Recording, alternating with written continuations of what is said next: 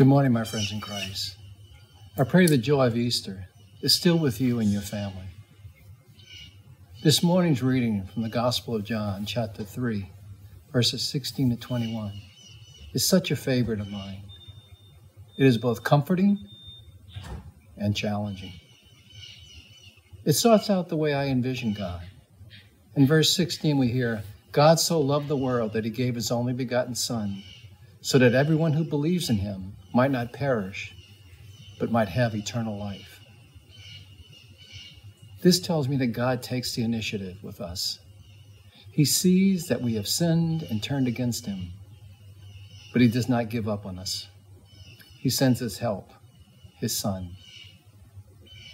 Like the father of the prodigal son, he reaches out to us because he wants us to have a good life in this life and eternally.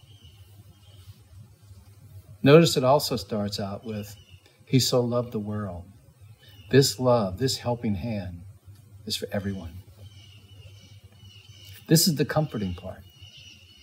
The remainder of today's reading is about our choice. Do we accept His help, His grace? Or do we prefer what John calls the darkness and wicked things? It is too easy for us to say, Of course we want His help. So I ask myself at every moment of my life, and I challenge you to do the same, with every temptation and life decision, do I act? Do I decide as if God was standing right next to me? Do I look to Him for answers? Do I choose His path? Or do I justify a moment of pleasure over what He would want me to do? What He would want us to do?